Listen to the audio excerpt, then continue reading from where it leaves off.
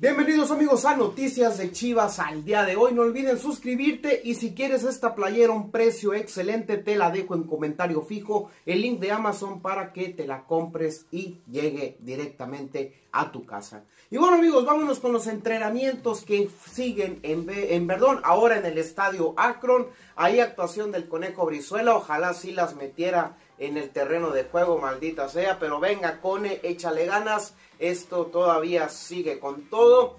Entrenamientos, amigos, para enfrentar a Rayados de Monterrey el día sábado a las 5 de la tarde por las pantallas de aficionados. Para que recuerden que este partido va por televisión cerrada.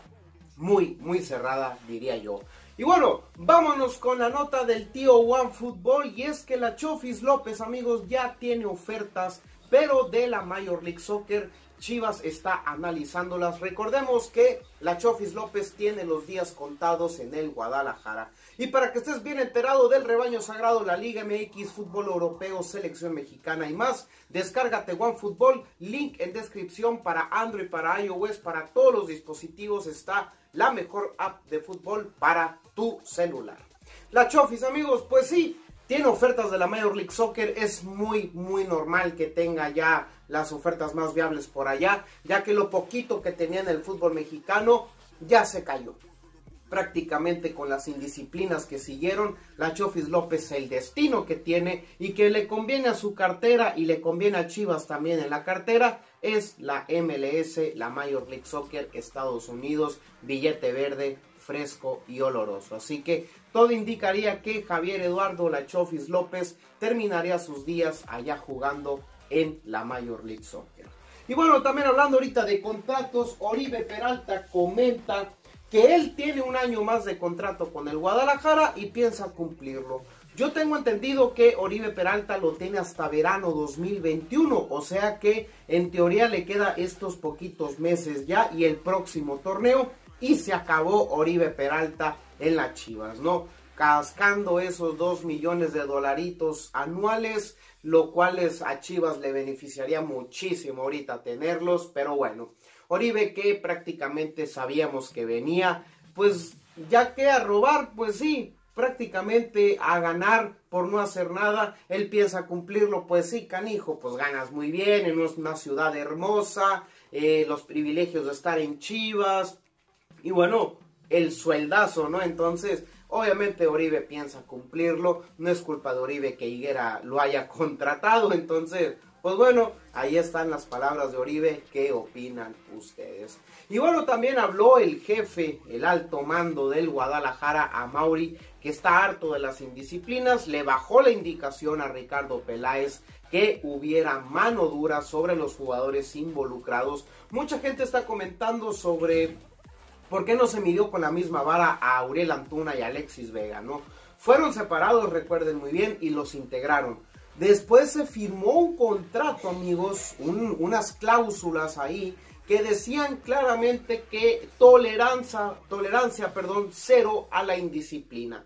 Era general, era para todos, lo incurrieron estos jugadores, ya no había más eh, ganas de estar aguantando a la Chofis y con esto explotó todo. Peña pues nivel en el entierro con los entrenamientos y demás, pues también ahí Alexis Peña involucrado, Dieter Villalpando que la afición no lo queremos, trácatelas, el que duele obviamente es José Juan Vázquez el gallito, pero ni modo, el pariente se tiene que ir amigos, incurrió en una indisciplina, eh, aquí no hay vacas sagradas, aquí no hay consentidos, primero es este escudo, primero es esta institución amigos y esto se tiene que respetar claramente. Así que amigos, bueno, pasamos a otras notas. Y es que Gallardo metió salseíto, ¿no? Dijo que no vendría a jugar al Guadalajara en estos momentos por cómo están las cosas. Y no lo culpo. En Chivas se habla más de indisciplina, se habla más de cosas extra cancha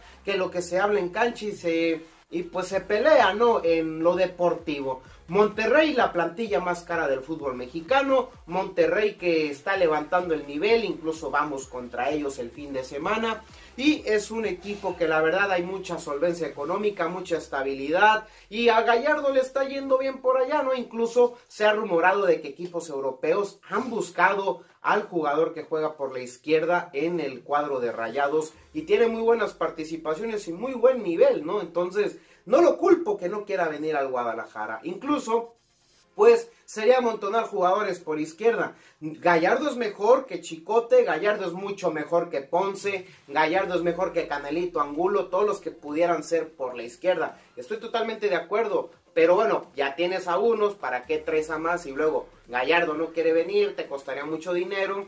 Y bueno, fueron palabras de él y se respetan. El que no quiera venir al Guadalajara, neta, que se agradece lo digan. No quiero ir a Chivas, porque luego vienen y no hacen nada y cobran mucho y se hacen petardos o se van y brillan en otros equipos, ¿no? Entonces, al Guadalajara tiene que venir gente que quiera jugar, llámate como te llames. Así de sencillo. Pero bueno, Continuamos amigos con las notas y es que ganó el tapatío ayer, le quitó el invicto al Celaya, al líder general. El tapatío les vengo diciendo semanas atrás, viene levantando el nivel, viene jugando muy bien. Mucha gente pregunta por Adrián Villalobos, pues ayer fue titular y fue quien metió el gol con el cual ganó Tapatío a los Toros del Celaya. El Tapatío se está metiendo en posiciones para eh, jugar importante en la liguilla. Está en posiciones todavía de repesca, si no me equivoco, pero ahí está el tapa poco a poco levantando, se está acabando ya la temporada regular de la liga de expansión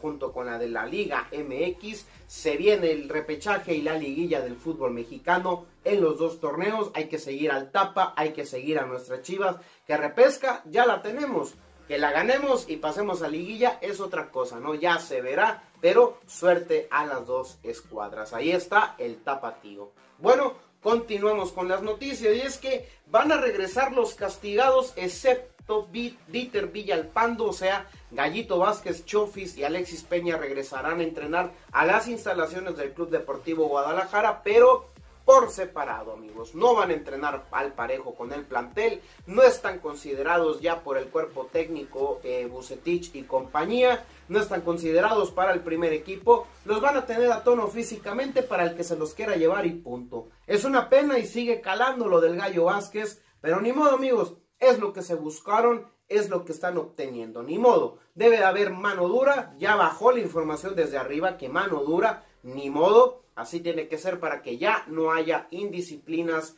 en el Club Deportivo Guadalajara. Así que estos jugadores, excepto Dieter, mientras se aclare su situación, estarán entrenando, sí, en Verde Valle, en lo del gym, en todas las instalaciones de Chivas, pero por separado. Y bueno, vámonos con la última nota, eh, declaraciones de Alexis Vega, que dice que entrar de repesca para él no es entrar a la liguilla, y estoy de acuerdo con él. Ahorita Chivas se mantiene si fuera el torneo eh, regular, el, torneo que clasifican los primeros ocho, estuviéramos arañando el último lugar, con posibilidades de perder, perderlo perdón, y enfrentar a Rayados. Está muy complicado el tema, obviamente ahorita con las bondades del nuevo torneo, Chivas ya califica una repesca y ahí que pase lo que tenga que pasar. Pero bueno, ahí está las palabras de Vega, estoy muy de acuerdo con él. Chivas como mínimo yo lo miraba, dije, para estar tranquilones. 4 y nos fue bien, pero normal del 5 al 7. Yo lo había dicho y lo dije en el trabuco, lo dije aquí en los videos, pero bueno, estamos más abajo de lo esperado. Así que venga Chivas, hay que ganar a Monterrey, de perder a posicionarnos mejor y jugar en el Akron, el partido correspondiente al repechaje, a ver contra quién nos toca. El fin de semana lo sabremos y tendremos toda la información necesaria. Fuerte abrazo de su compa Frank de Fútbol Tuber, amigos, que estén muy bien. Yo les mando un fuerte abrazo, pero abrazo de.